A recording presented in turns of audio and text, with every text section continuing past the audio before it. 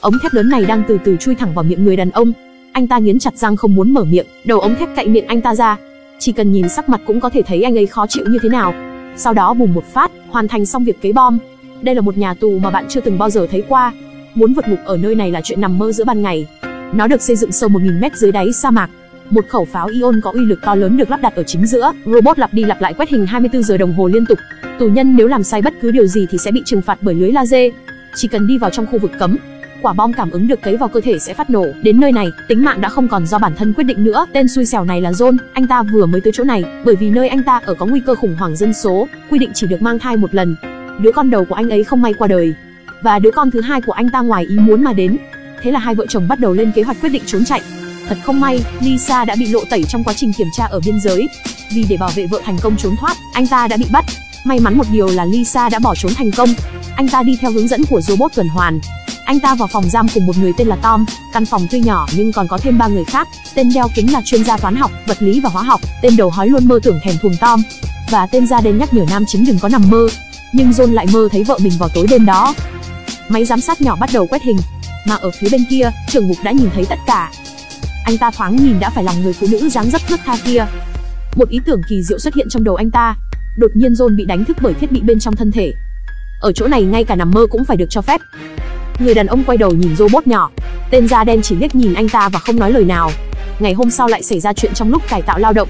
Tên đầu hói cùng với tên có hình xăm số 187 trên trán muốn dùng sức mạnh với Tom. John sau đó đã đánh nhau với tên 187. Tên 187 cơ bắp lực lưỡi mới đánh hai phát thì vật ngã được John. Ở chỗ này bạo lực cũng không được cho phép. Ba người sau đó bị nhốt trong lồng tia laser. Chỉ khi họ chỉ ra người gây chuyện trước mới có thể được thả. Chẳng mấy chốc Tom đứng không nổi nữa. Để cứu người mà John nhận hết tội lỗi về mình. Anh ta bị đưa đến phòng của trưởng ngục. Ở đây anh ấy đã phát hiện ra một chuyện kinh khủng khiến anh ấy suy sụp. Hóa ra là vợ của anh ấy không bỏ trốn, mà là bị bắt vào nhà tù dành cho phụ nữ ở chỗ này. Anh ấy đã bị máy cảnh báo trong người tra tấn một cách tàn bạo. Tên da đen thì theo đuôi hầu hạ trưởng ngục. Bởi vì vợ bị bắt, anh ta hạ quyết tâm phải vượt ngục.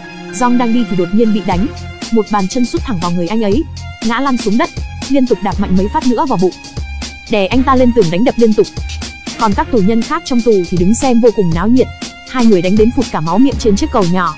Trưởng ngục ra lệnh thu cây cầu thép lại. Cuối cùng John đã chiến thắng. Trưởng ngục muốn anh ta giết 187, nhưng John đã đưa tay ra và cứu anh ta. Trưởng ngục rất tức giận vì lần đầu tiên gặp phải một tù nhân dám cả gan chống lại mình. Pháo ion được khởi động, 187 vẫn cứ là về chầu ông bà. Sau đó, trưởng ngục bắt đầu tra tấn những người xung quanh. Mà lúc này John đã bí mật lấy trộm máy cảnh báo của 187 và lén lút đưa nó cho Tom. Bọn họ đặt John trên một bàn xoay để trừng phạt. Bàn xoay quay 360 độ theo mọi hướng. Mà những thứ này đều do trưởng ngục làm để có thể có được Lisa. Anh ta nói với người phụ nữ chỉ có cô ấy mới có thể dừng bàn xoay lại. Chỉ cần cô ấy hứa sẽ sống cùng anh ta suốt quãng đời còn lại.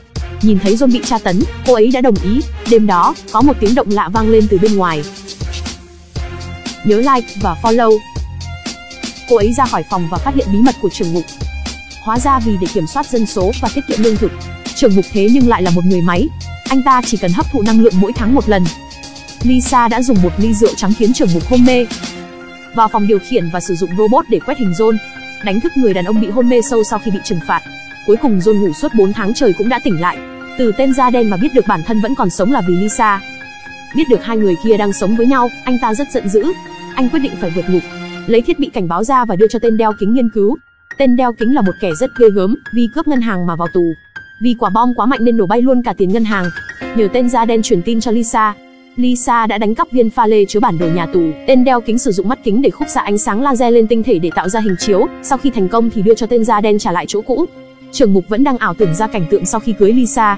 Hắn ta hy vọng sẽ cùng Lisa nuôi nấng đứa con trong bụng và đã đặt một cái tên hay cho đứa trẻ. Quyết định đặt tên là Đức Bo. Bên kia, tên đeo kính phát hiện ra quả bom thông qua hiệu ứng từ nam châm. Những người này muốn vượt ngục, muốn lấy quả bom nhỏ ra từ trong bụng của mình. Họ dùng nam châm di chuyển quả bom bắt đầu từ vùng bụng dưới, từng chút từng chút di chuyển đến cuống họng. phục một tiếng quả bom lập tức đã phun ra. Sau đó gom mấy quả bom nhỏ lại đặt vào ống thoát khí, đấm tên tù nhân một cú thật mạnh. Đầu chọc cầm một cái cuốc lớn, bắt đầu đánh nhau dữ dội, nhằm tạo ra hiện trường bạo loạn trong nhà tù. Hệ thống AI phát hiện ra và làm quả bom phát nổ.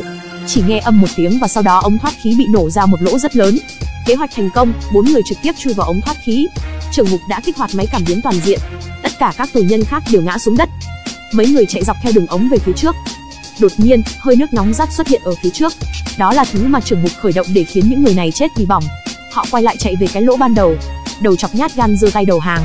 Ai mà biết được một tiếng súng vang lên, đầu chọc thăng thiên. Phía bên kia, tên da đen chạy tới chuẩn bị để cứu Lisa, nhưng bị trưởng ngục bắt ngay tại chỗ. Da đen dùng nắm đấm nhỏ đánh thẳng vào ngực hắn ta, nhưng sau đó đã bị siết cổ đến chết. Lisa trốn thoát thất bại rồi. Ở phía bên kia, ba người bị bao vây trong ống thoát khí. Vũ khí đó rất tiên tiến, không chỉ có thể phun lửa, còn bắn ra đạn.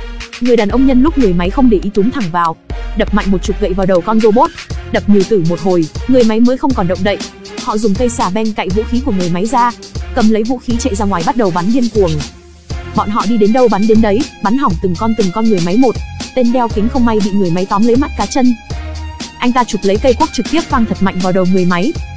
Sau đó họ tuyệt vọng mà chạy một đường tìm đến chỗ trưởng mục. Bây giờ Lisa đã bị đưa vào phòng phẫu thuật cưỡng ép sinh con. Mà hậu quả là người mẹ chắc chắn sẽ chết. Trưởng mục cũng có chút hoang mang khi đối mặt với họng súng. Hắn liền dẫn họ vào phòng phẫu thuật, nhưng trưởng mục đã bị pháo nơ tròn trực tiếp bắn chết. Bởi vì hắn là người máy, hành động của tên trưởng mục này luôn là do trí tuệ nhân tạo thực hiện. Bây giờ đến phòng phẫu thuật thì đã muộn.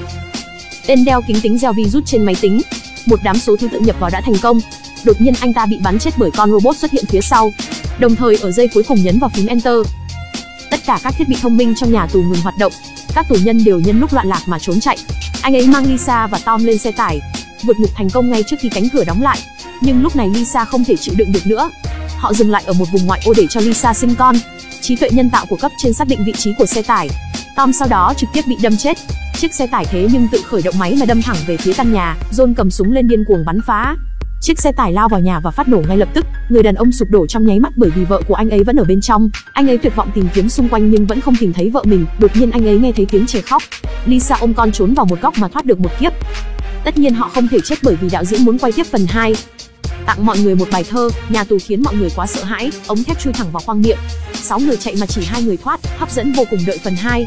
Tôi là Bin Dì Diêu, nếu thích hãy cho mình hai like.